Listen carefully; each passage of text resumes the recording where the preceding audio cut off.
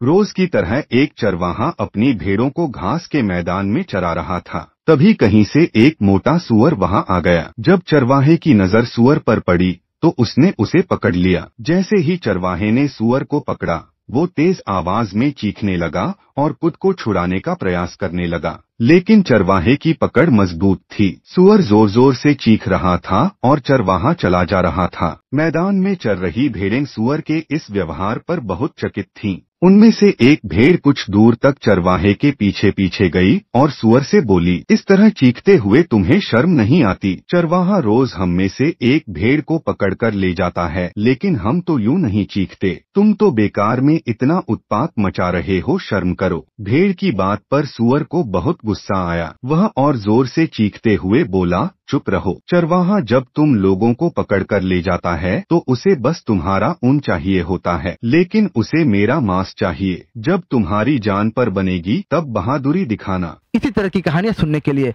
हमारे चैनल को सब्सक्राइब करे, लाइक करे और कॉमेंट करे। और बेलाइकन दबाना ना भूलें।